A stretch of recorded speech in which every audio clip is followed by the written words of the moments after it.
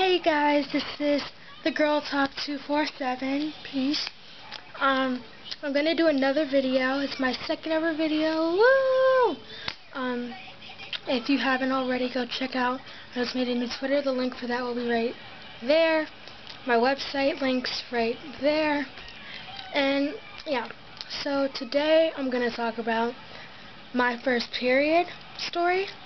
Uh, my first period um, it was and it was lucky yet unlucky because it was the last day of school was on a Friday and I got my period on a Saturday. So it was lucky that I didn't get it during school. It was unlucky because that day I was going on vacation. And so my first period I had to worry about having trying to put in a tampon and everything. It was lucky but unlucky. So I woke up on, I went to bed on Friday and I woke up on Saturday and I went to the bathroom because I, like every morning I go to the bathroom because like I have the bladder of a squirrel. So I went to the bathroom and then I like something smelled really funny and I was just like, oh, um, um. So I went to wipe, I saw blood and I looked at my underwear and there were there was blood. So I was like, oh my gosh. I was just like, Mom, I think I got my period. And she was just like, okay.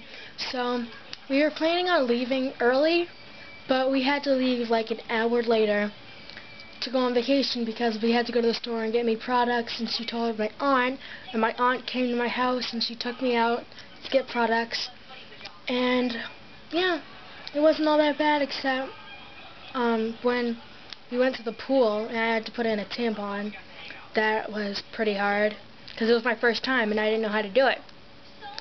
And yeah, but that was my first period story. Um, you can leave a video video response telling me about yours, or you can just comment telling me about your first period, or well that'll be another video. You can tell me your most embarrassing one.